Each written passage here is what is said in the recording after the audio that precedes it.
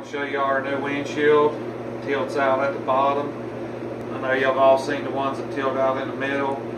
And the air hits here, goes up around the roof, and seems to circulate a lot of dust. Uh, so we came out with this one. Tilts out at the bottom. I can I can tilt my side out and get some air and uh, lock it down while Nikki's side is still closed. Or I can twist the other knob from the inside there and uh, tilt the whole thing up. Just tighten it up there.